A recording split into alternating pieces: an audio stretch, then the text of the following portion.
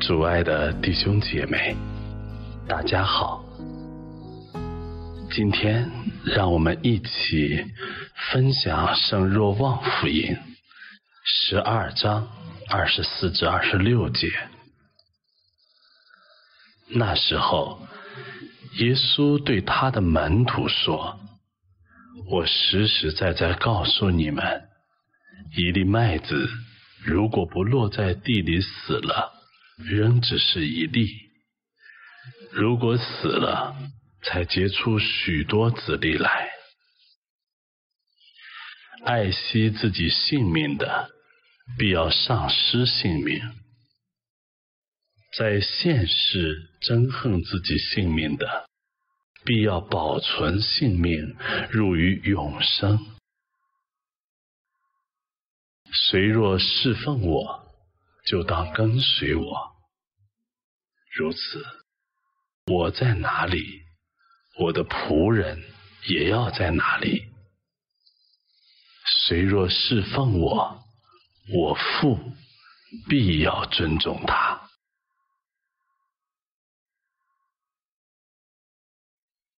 基督的福音。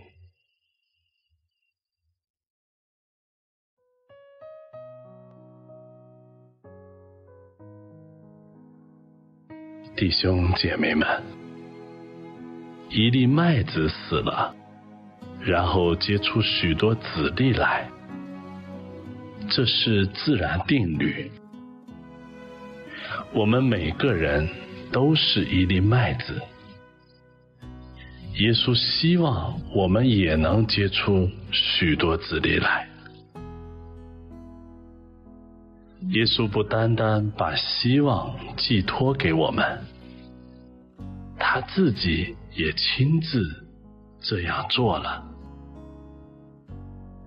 他的死不是从十字架上才开始的，而是从降生成人就已经开始了。他的一生都在死于自我。活于天主，由此我们明白，跟随他的一生，也是不断死于自己，活于天主的历程。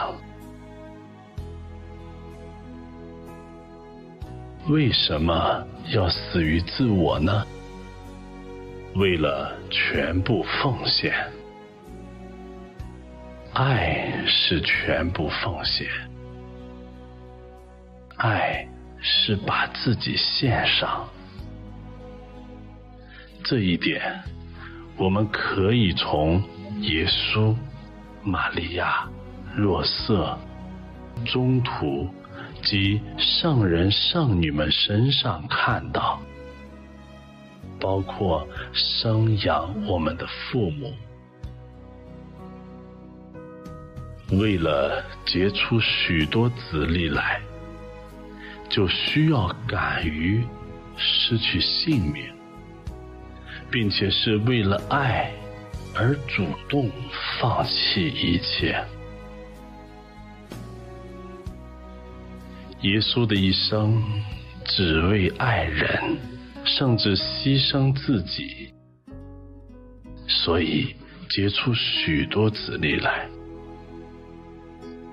保罗说：“我若能说人间语言和天使的语言，但我若没有爱，我就成了发声的锣，或者是个发响的钵。我若拥有先知之恩，又明白一切。”有全备的信心，甚至能够移动三月，但没有爱，我一无所失。我若施舍我所拥有的全部财产，也愿意舍生投入烈焰之中焚烧，但没有爱，为我毫无意义。由此可知，为了获得永远的生命，我们需要有勇气为爱而付出一切。在今天的读经中，保禄说：“弟兄们，小量播种的，也要小量收获；大量播种的，也要大量收获。每人照心中所着量的捐助，不要心痛，也不要勉强，因为天主爱乐捐的人。”天主能丰厚的赐予你们各种恩惠，使你们在一切事上常十分充足，能多行各种善事。正如经上记载说：“他博施济贫，他的仁义永世长存。”